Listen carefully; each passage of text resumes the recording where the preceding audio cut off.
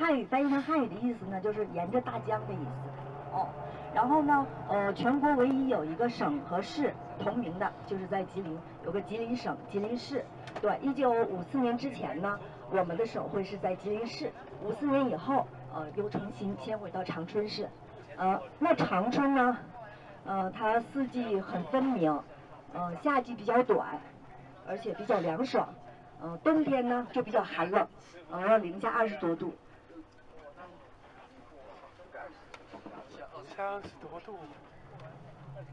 然后南方人呢特别喜欢到我们这边来看下雪，没看过下雪的时候觉得特别的呃壮观。呃，那我们长春呢，长春这个名字的由来呢，其实它也是来自于满语，呃，满语叫做查阿冲，翻译成汉语就是长春。但关于这个名字的由来呢，就是呃满族的骑兵呃来到长春浦这个地方，然后看到满山遍野开着。杜鹃花，杜鹃花呢，它也叫做长春花，所以长春得名，就是想呃把四季的长春天，因为这比较寒冷嘛，呃，就想留住这样一个表达一个美好的愿望啊。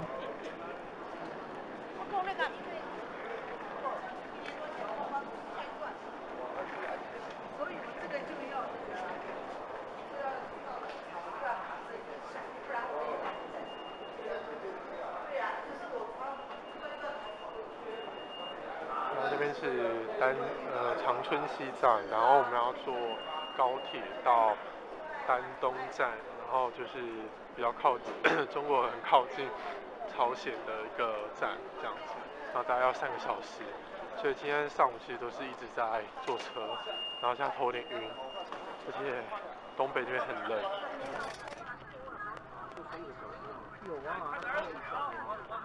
现在是在呃高铁上面，然后现在非常赶，对。那是呃快早一点了，那我们三点多才会到台中站。那到了之后，就会在车上休息，然后正式进入台台。呃，九十分钟台北到高雄。因为户外是非常冷，那车子上面幸好还好，就是比较暖和一点。就是就是就是。来，我们都到了吗？到了话，我们就往从巷那边，我们待会去前面拍个团体照哦。哦，好，我们到了，出到了。那我们到了这个地方呢，是中国东北丹东，然后这地方非常非常的呃奇特，很不像中国。对，然后呃，气温非常的人。然后这边就是距离中国距离朝鲜，呃，据说最近的地方。所以刚刚从那个丹东车站出来的时候，其实就有很多，哦，很多旅社、旅行社在那边发传单的。然后呢，呃，出口出来这边，前面这边就是毛泽东的铜像，也不是铜像，正善的雕像。然后，呃，当地的导游带我们去，就是拍个照。这大概是一辈子才会来一次的地方。韩妈妈你还好，要帮你拿吗？不用，我这样用拉，的根本就没有重量。背的，所以我为什么要拿这个东西？我旁边这位是韩妈妈，非常厉害，去过一百五十多个国家，对，看不出来这样。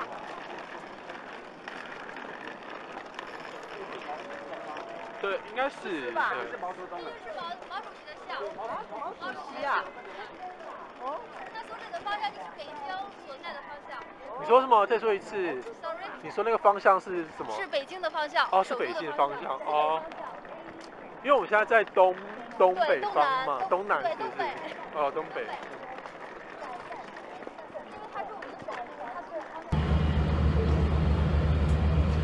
好，然后我们呃就快要开车了，然后刚才。我现机已经快，我现在已经没电了，很奇怪。好，刚才听到那个声音是火车要开始，对。然后，哎，奇妙好像去北安还是没有过来，不知道他们是搭这班车，对。那反正待会我们就要走了。好，那呃，待会会沿途拍要一张的照片跟影片，然后接下来就要到正到平壤去了，对。耶。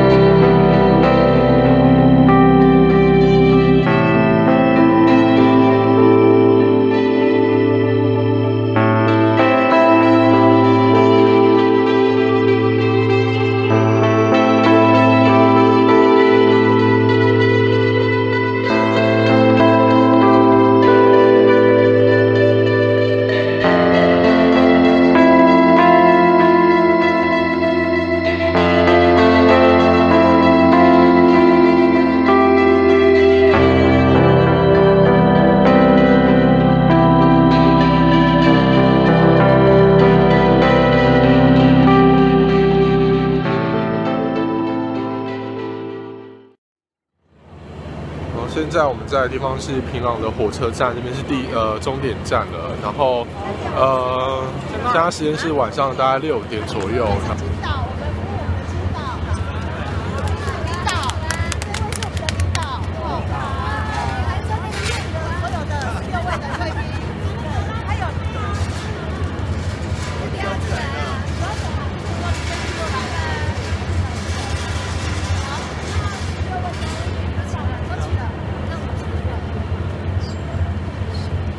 太难置信了！现在呢，我们出了平壤火车站，然后这边就是平壤市中心了。然后这边真的跟刚才一路上看的景象完全不一样，非常呃繁荣，但是很……暗，不知道为什么，因为他们这边的的光线其实设施好像不是很好啊，以真的太酷。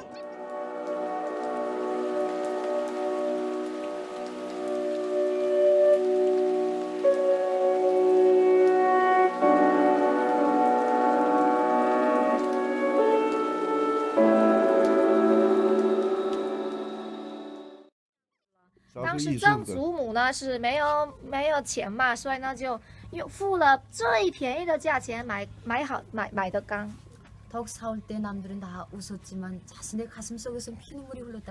当时曾祖母买这个缸的时候，别人嘲笑他为什么买这个缸，但是他呢去买这个缸的时候，心里下已经流下了血泪了。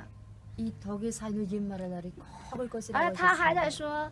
总有一天拿这个杠来做讲做故事的时代一定会来的。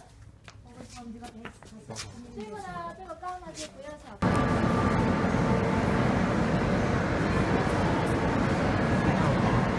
平壤的地铁，然后这一站叫做光复站、复兴站，然后毛达里站到毛达站，然后体验一下平壤，然后地铁里面。都会下地下一百米的深度，穿到月台，然后呃，听说这边都是很温，十七十八度，所以其实里是你可以所以其实这里面还蛮新。哦，有点长哦，还是要坐手扶梯下去了。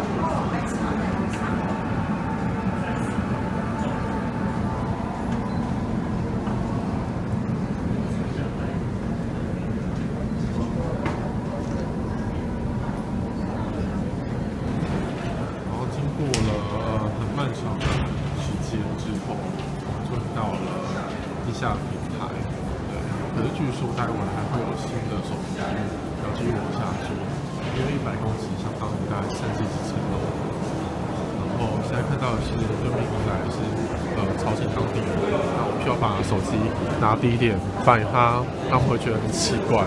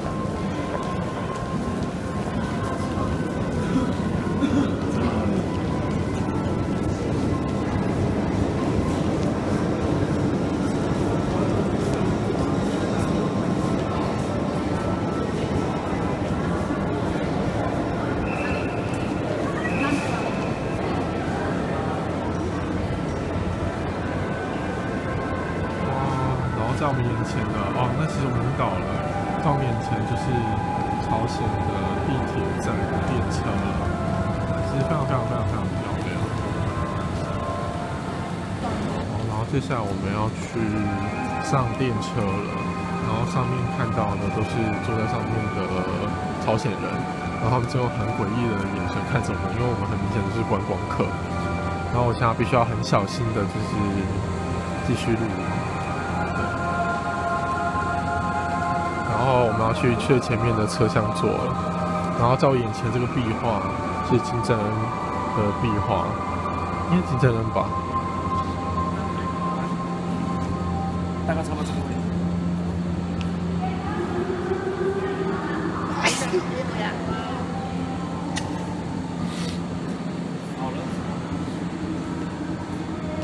然后我们要做下一个，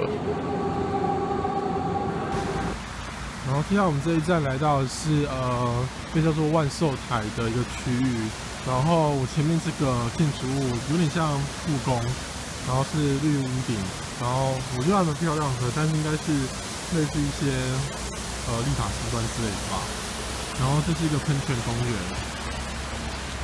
呃，然后很奇妙的是，刚好昨天我们吃饭时候有一对新婚夫妻的婚礼，然后这边又看到另外一对那个呃新婚夫妻他们在拍婚纱照之类的。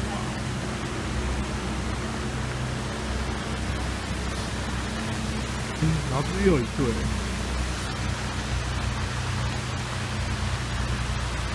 他们的新娘服装还蛮漂亮的，而且很明显看到就是新娘，因为男生都穿的是黑色的，然后一般女生穿的是暗色系的服装。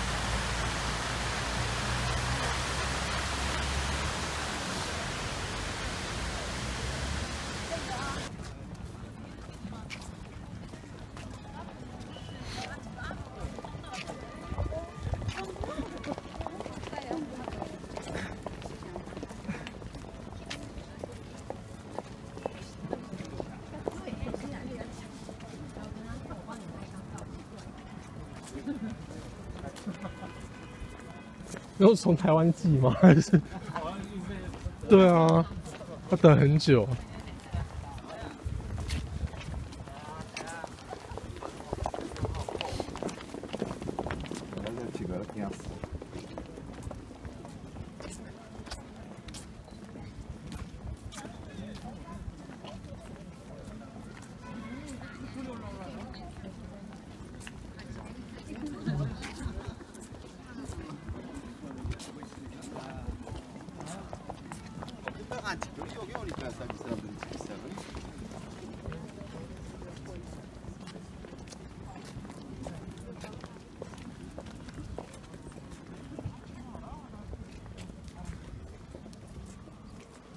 好，接下来我们到的是呃平壤最严肃的地方。然后接下来到这边，我们其实就不太能讲话，而且非常严肃、非常尊重。前面就是。今日成跟金真的两个人的最大的铜像，对这个大广场，然后待会会有个献花的仪式，然后今天不知道为什么，就是在这边的新娘子实非常多，看影片穿梭的，其实大家应该要看到。然们是十月十八号，第三的下午，然后我们刚吃完午餐，然后现在来到是呃，平常的凯旋门。那上面写的两个数字是一九二五跟一九四五，分别代表说是平壤呃前前领袖以及前领袖的抗战，以及后来抗战胜利的时间这样子。对，对他们来说，这叫做解放战争。那后来平呃朝鲜就呃对他们来说，他们就赢了。对，然后所以他们就是留下这个像凯旋门一样的纪念的价值的建筑。物。然后远处那边这个呃是平壤的体育馆，那刚导游说这是整个朝鲜第二大体育馆。然后这边有看到一个被白布盖起来的一个壁画，那这个是金日成当时在平壤市中心，就是跟平壤市民呃欢呼簇拥的一个景象这样子。其实今日，呃，今天整个在壤这样逛了一圈之后，其实我们看到的是很多很现代化的地方，但是当然，呃，这其中我们还是没有办法深入当地受太多。那当然这个不意外啦，因为本来我们就只是逛逛客，他们开放给我们看的东西，当然会到很多。对，可是呃。其实可以看到一些小孩子啊，那些等等之类的，然后一些市民他们的反应跟表情。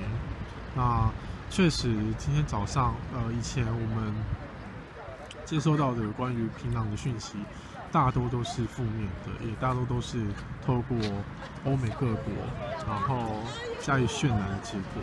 那不代表是真实的样貌。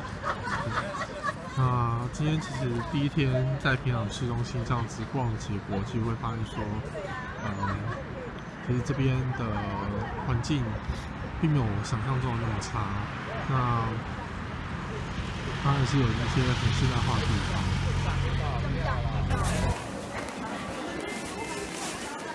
现在在地方是朝鲜的超市。然后，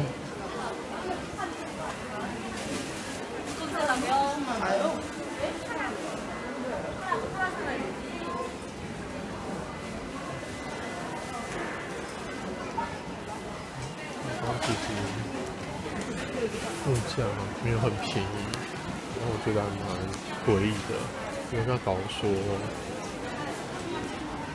哎，其实它因边物价没有，它这边运购物物价没有很便宜耶。啊！我刚刚看饼干那一边啊，都几万韩币耶，说好像要除以两百五，就是台币。那除以两百五，我除以十四不是等于人民币吗？没有没有，它在这里这里是，你看一百块你不是换一大堆？哦，哎呀，那是饭店跟在这里不一样，这里是一千多，这要除多少啊？除以没有，你这样算啊？哦，除以两百五就是台币，所以这一罐大概台币八块，要除以两百五。对，就是台币。啊，除多少等于人民币？道吗？再乘以五啊。哦，哦，那在一千嗯，五乘以两百五，一千两百多。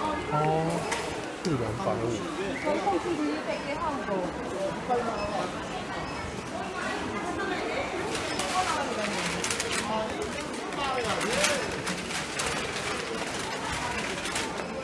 找那个咖啡。这一区的饮料好像都是中国的。饮料这是咖咖啡了，那可是中国的咖啡。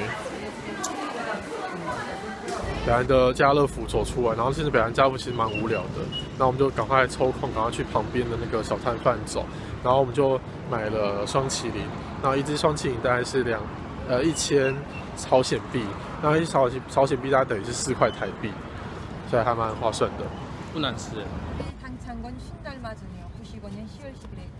前面的塔是叫建党纪念塔。迎接建党五十周年的时候建立的嘛，说一九九五年十月十号建的，总高五十米，象征着我们朝鲜劳动党的主要成分，爬升也是以那个党徽来组成，中间有着大型环带，象征着我们朝鲜劳动党周围一心团结的朝鲜人民。而且在前面的有着一个党的口号，写什么呢？朝鲜人民的一切胜利的组织者和领导者，朝鲜劳动党万岁！他的正面啊，请各位看。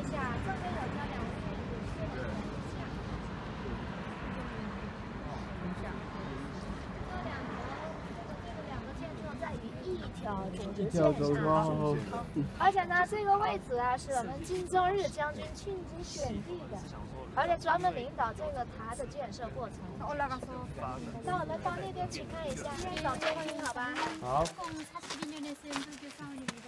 呃，这个寺庙呢是在朝鲜的高丽时期，一零四二年建立的寺庙。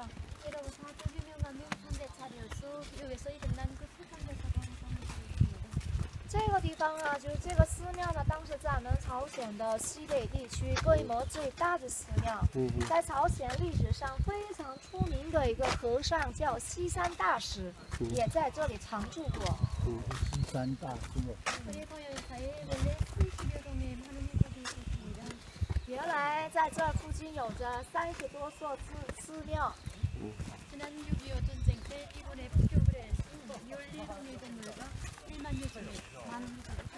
过去五十年的年代初，寒战的时候，美国的飞机来到这里，做了两两次轰炸。当时达到十四座建筑和一万两千多件的遗物都被烧毁了。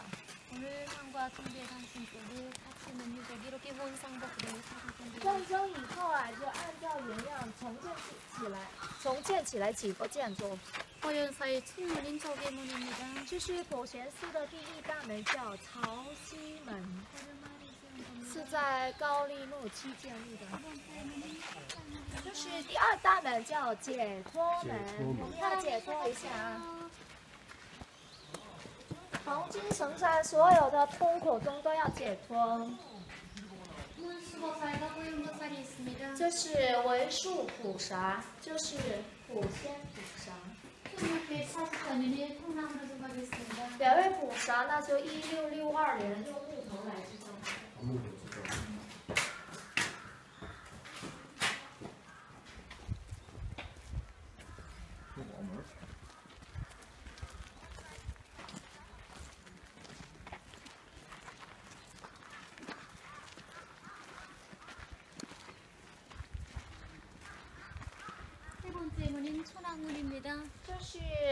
三大门叫天王门，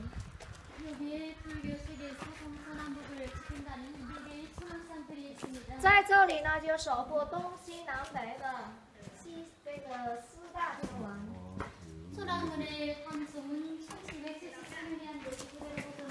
请各位看一下《天王八拜像》的丹青，一七七四年画的，原来的一个丹青，到现在没有补色。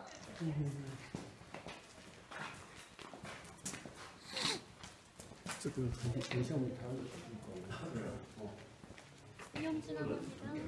前面的这些棵树呢，是叫菩提树。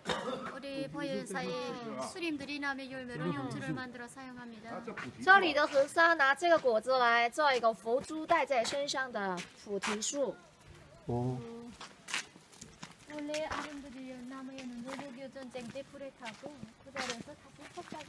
呃，原来是在这里有很大很大的菩提树，寒战的时候就都烧毁了，以为是都死掉，没想到在原来的位置又长出来了一个秃头了。这是什么？菩提树啊！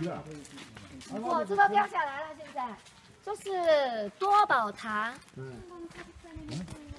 这个多宝塔呢，是一零四四年建立的塔。一零，一零四四年。哦，那个九的意思是九九层那个楼嘛，这不是楼，九层塔。九层塔，来来，是不是？高赞塔。我觉得，对啊，九层在台湾是一种那个菜。哦。对，是，对啊，对啊。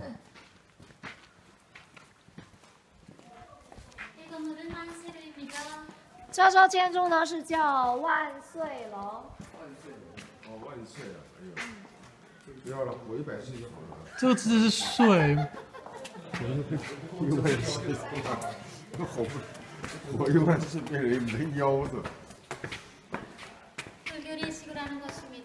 以前在这里专门做过各种各样的佛教仪式、佛教活动的。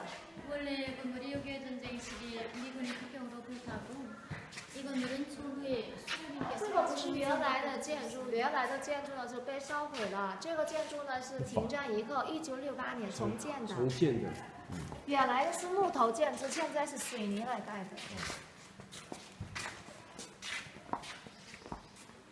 覆盖于的塔顶上。前面的这座塔呢，是叫释迦如来塔。释迦如来塔，哦，就是在高丽末期建立的。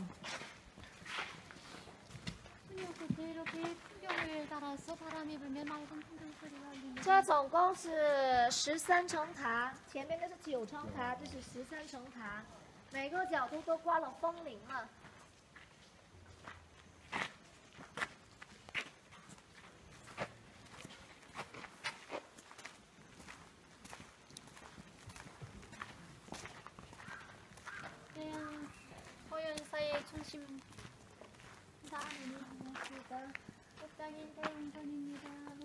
这是普贤寺的中心建筑大雄殿。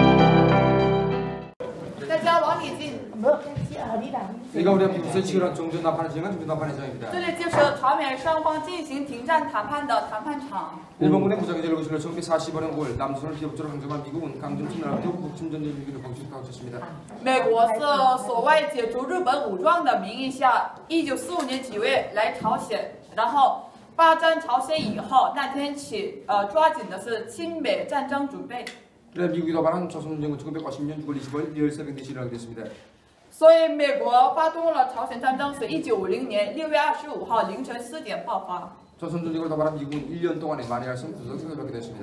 那美国发动战争以来一年期间他们遭到了沉重的打击 그래 미국은 숨돌기를 놓고 침 확대 목적 밑에 1951년 9월 30일 우리 정부가 빠른 시기 했습니다. 美国是争取时间扩大这个侵略战争所以一九五一年六月十3呃3 0号向我方提出呃要进行停战谈判 1951년 7월 10일부터 개성시 내방전 수정 답을 시작됐습니다. 所以一九五一年七月十号在开城市的有一个地方叫来芳庄进行了呃谈判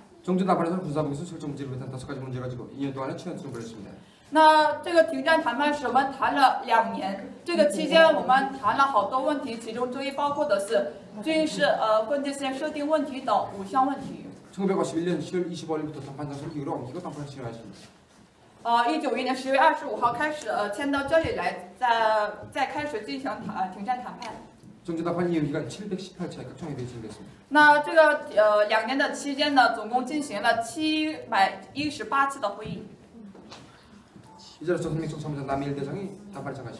那谈判期间，我们呃谈判的时候，我方的总参谋长南日大将做过这个中间的位置。那这里的中间的位置是美远东海军司令官啊西特纳·乔威坐过的位置。说经过一句的。那各位在这里简单拍个照，继续参观下一个景点。 해를 지날 때 우리는 이쪽을 미국 민족을 찾았습니다. 这里是我方做的，那那边是美方做的。 네, 네 우리는 해를 통해 미국의 종전협정 위반에 의한 세존적 도발치 동을 폭로하기 탄원했습니다. 当时呢，我们通过会议谴责了美国的违反停战协定的行为。 미국의 종전협정 위반행위는 판문점 사건과 후에 불러 사건을 비롯해서 종전지급도 원활 일까지 81만 5천여 건에 달합니다. 美国呢，违反行为，呃，一共有八万多次。代表性的是板门店事件和普维普罗号事件。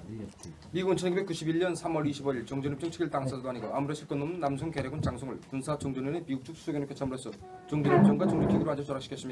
一九九三年三月二十五号呢，美国把南朝鲜的傀儡将领是嗯选定为我们北方的首席代表，他呢没有什么实权的。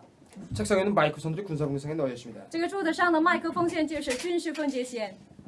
여러분들 아직 건물 안에서만 북한함으로 자료해 갈수 있습니다. 我们现在南北之间呢不能来往，但是这个房间里可以来往的。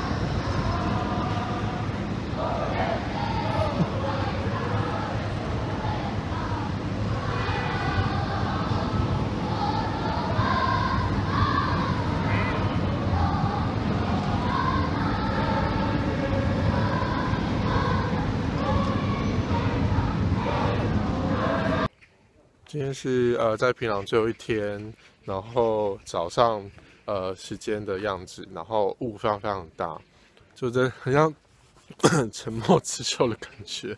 然后这个雾其实并没有很干净，因为是空气中夹一种煤炭的味道，对。然后呃，刚好听导游说，其实就连他们他自己也没有看过这么大雾，就是很少见嘛，对啊。然后今天我们就要离开我身后这个西山饭店，然后我们了四天。其实这几天我们在那个，嗯，饭店啊，晚上啊，都其实是不会出去的。大概八点，我们好像记晚八点就到了，然后就去休息，然后就在楼下喝酒啊、聊天啊，跟导游他们就是聊一些事情这样子。